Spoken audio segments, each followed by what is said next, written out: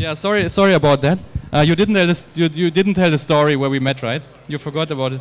Uh, um, because uh, we were talking about it. We met at the Typo 2007, and he uh, had a really cool deck, uh, something like this, and I didn't, you know. So I tried to be really good uh, prepared this time. And um, yeah, it's been six years of training since then. So uh, my name is Uwe, and my talk might be um, a bit different from uh, many other talks here because it's mainly not about animation or design. It's more about a journey, uh, my journey, and um, um, it's it's about what I did in the past 10 years, and um, I, uh, in order to connect this a little bit to motion design and animation, I, I added a little animation to this uh, slide deck, and um, so um, yeah, that's where I started in 2000. I, I, was a freelancer, and then I went on to be a company founder in 2008. And um, slightly a bit after this, I, um, I created some apps with my team. Um, so I turned into a product owner, and that's the story I want to tell. And it's it's also supposed to be a little motivation for uh, people who are interested in this because um, I think it's very thrilling and exciting to uh, to have own things to own uh, own what you do because uh, many of your projects are also really they are big. They, they could make a company you know. Uh, you work on stuff for months and it's the same thing when you found a company and, and you own it afterwards and as a freelancer or or when you're booked or a full-time in a company you, you work on these really big things sometimes and you never own them so um, but I started in 2000 with music videos and I shot many of them. And uh, I wrote uh, hundreds of treatments. And um, I was lucky, I worked with really uh, good bands. And um, of course, that, that didn't happen from the beginning. It was really tough, uh, a tough road. But uh, it paid off in certain ways. And yeah, I want to show you my music uh, video reel that collects some of, that shows some of this work. Oh, no sound? Hold on a second. Next trouble. Oh, what's going on?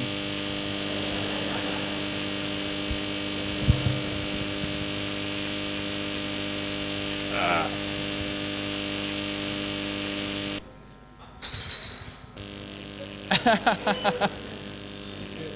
Let's try.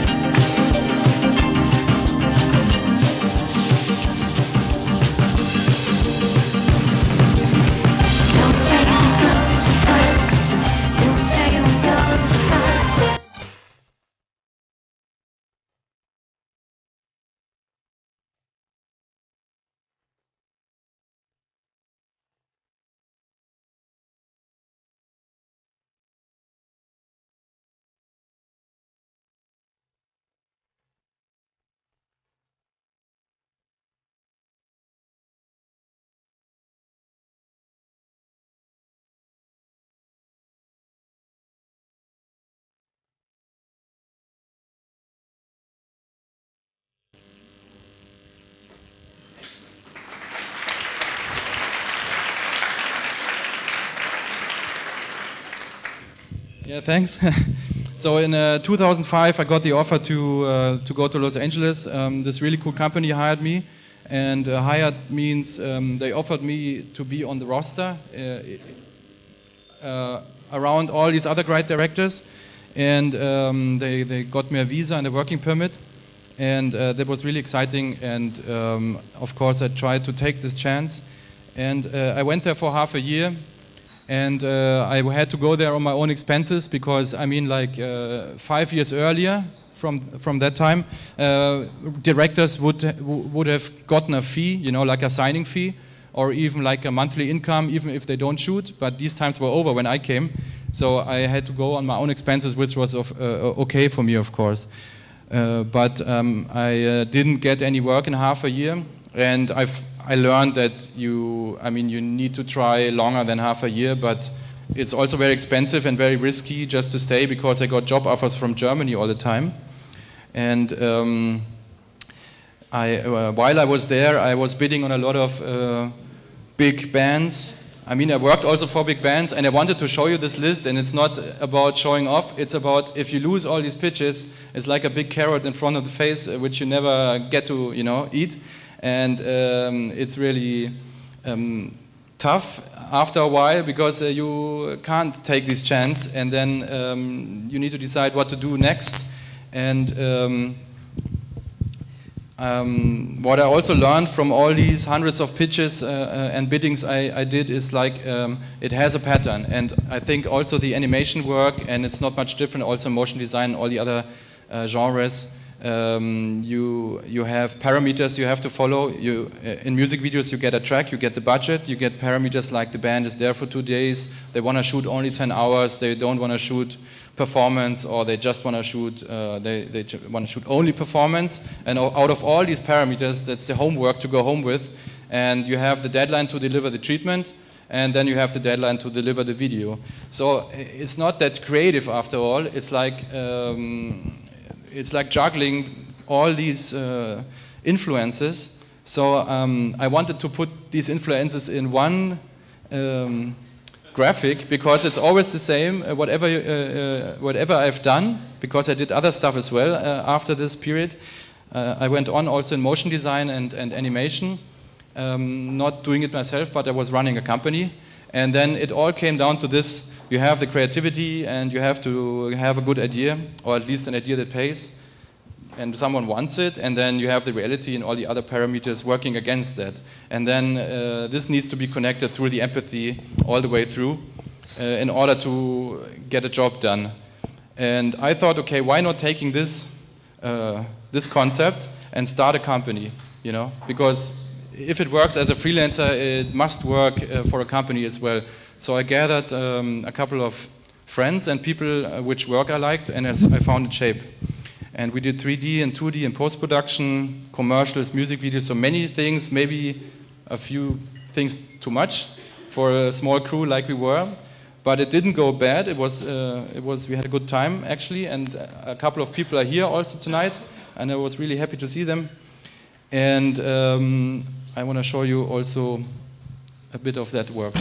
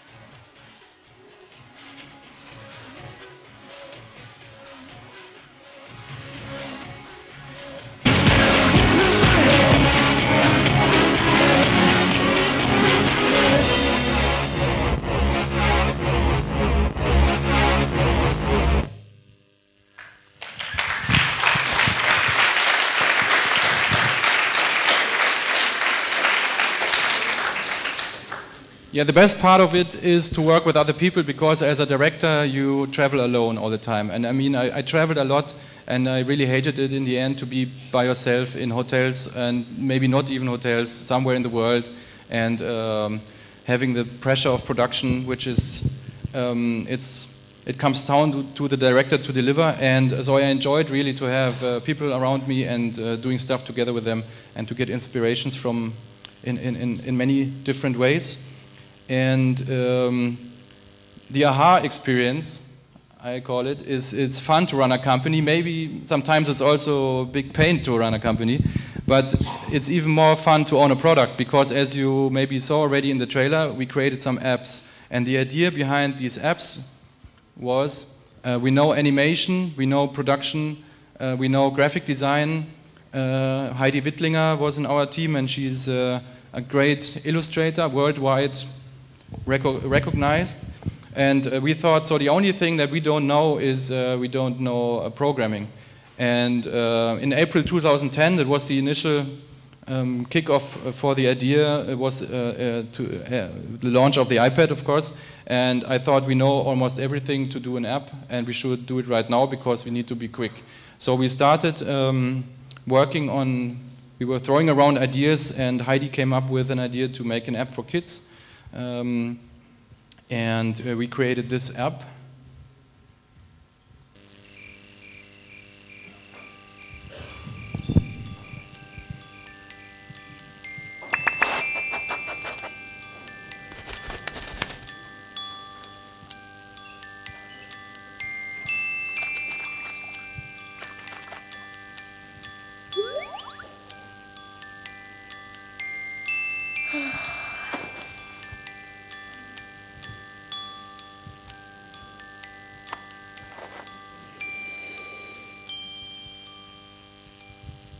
Nighty night.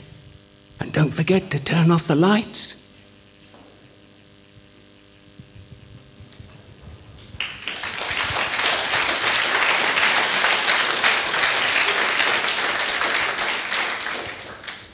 And um, her idea was also to really construct these little sets uh, made from cardboard and paper, uh, take pictures of it, um, cut them out in Photoshop, and uh, we put them in the app uh, we rigged them, um, we rigged the animals uh, and put this in Cocos, DD, uh, Cocos 2D. It's a framework for, for iOS.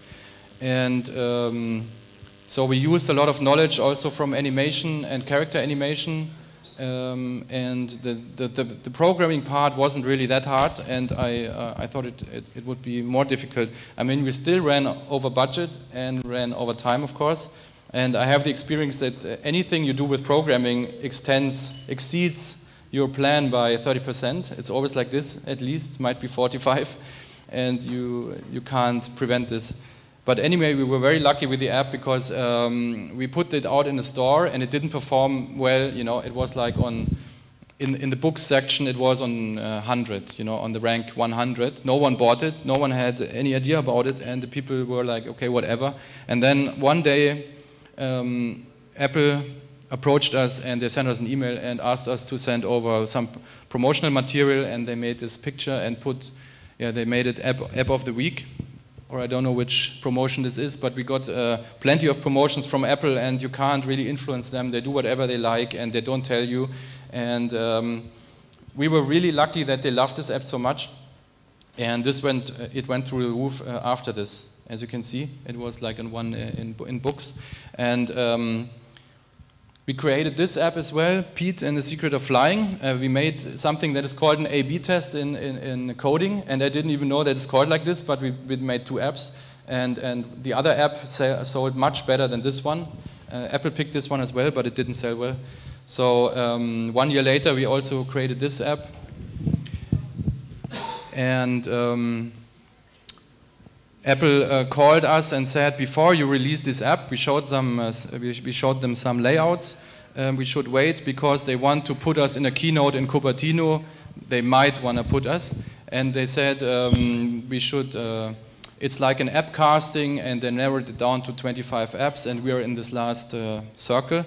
And we should wait with the release, which was awesome and very exciting, but at the same time uh, awkward because we didn't get picked and we, we, we pushed the release uh, further and further because the keynote was pushed further and further. So we uh, lost some money on it also because we had to pay back uh, the, the, uh, the, funding we got for this.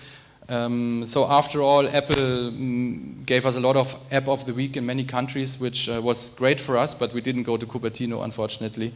And um, anyway, that's what happens when you make a product. Uh, that's what I want to tell. Uh, things ha just happen. People call you. All of a sudden, you get in some circles you never thought they exist, and uh, that was uh, very exciting. And they, um, this made me go on um, um, trying to do other stuff.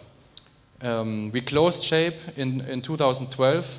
We sold these apps to another company because uh, all of the team wanted to go on to do different things, so we couldn't, uh, we couldn't see us working more on these. Uh, although they were successful, but it's you need an idea, and Heidi and also us three, the main core, Grit as well. Uh, she did the programming. I should not forget. It was an awesome team, but the team was uh, falling apart because uh, everyone had different plans. And that uh, led to the conclusion we got this offer from a company that we sell these apps. And um, I have to say also the books section is not like the game section. It's not like productivity. It's, it's in sales, it's a pretty weak section. You know, still we earn some money with it, but not uh, millions, you know. But it was a good experience. And um, I, yeah, what's next uh, for me is Nikit. When I was uh, developing these apps, I always had the, the trouble um, I couldn't find our competitors. I had no overview what the App Store does and what apps are out there. So I always wanted to have an app search engine that has more filters and that's really fast and it, is, it provides you an overview about what's out there. And um, so one year ago, I founded with another, uh, another team this venture. And um, Yes, uh, we are trying to get, uh, we, we, are going to be on crowdfunding now in June, and um, we got another funding from the Investitionsbank Berlin. It's a loan. And for me, it's of course very different coming from directing, doing that stuff now, but still, I have to say, it's, it's still like this, you know, you need an idea, you, you, you get all the, you have all the difficulties uh, realizing this idea, you need a team, and um, we don't know how this is going to sell, of course, and we don't really know uh, we know how to earn money with it, and we don't earn much right now. And um, I like the idea to see what's coming, you know, to just put it out and to, uh, to get connections through uh, what people see in it. And uh, that's also what happens right now. We find people that want to invest, other people don't like it. And um, for me, that's very inspiring. And um, I think it's a, it's a motivation for you, very talented people, also to try it. And I mean, I'm also here to, uh, uh, to give uh, tips or I don't, if, if you want to ask me stuff. And um, I mean, I will go also, I will on, I will go on also in directing because I love that very much. Uh, but I, I enjoy this a lot as well, and I think it's not much different after all because in the beginning you have like a white piece of paper or a white computer screen and you have nothing, and this has to be filled with something. And if it's a company or a movie, I don't, for me, it's not much different. So, coming back to, to the title, and yeah, I want to thanks for coming.